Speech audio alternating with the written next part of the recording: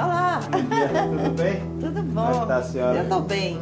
Fazer um cafezinho pra gente. Vocês gostam de forte ou fraco? Todo mundo aqui tem um bom coração.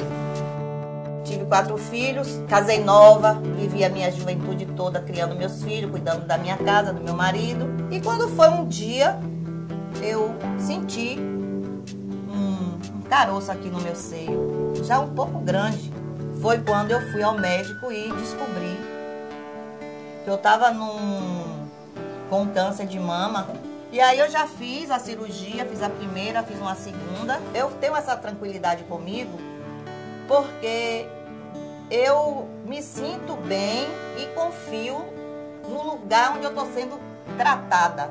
Mas já que a gente está com essa doença, então é bom que a gente esteja num lugar onde a gente está sendo bem cuidada e bem tratada.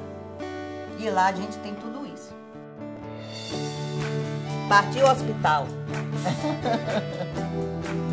Cada dia é uma vitória. Que a gente está indo vencer uma etapa, né? Eu ultimamente estou indo só vendo a minha recuperação, que graças a Deus tá ótima. Olha, e essa doença é uma doença do emocional. A gente não pode se deixar bater. A gente tem que confiar e acreditar.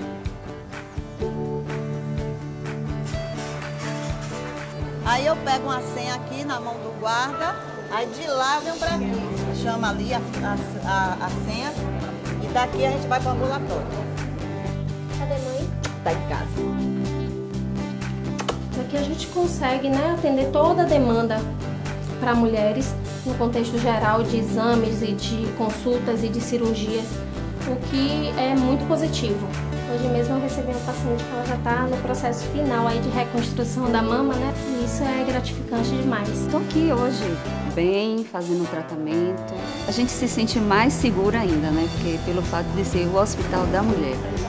Então a gente está esperando, a gente fica ali sentada, olhando essa paisagem linda, tomando esse ar da praia, essas flores.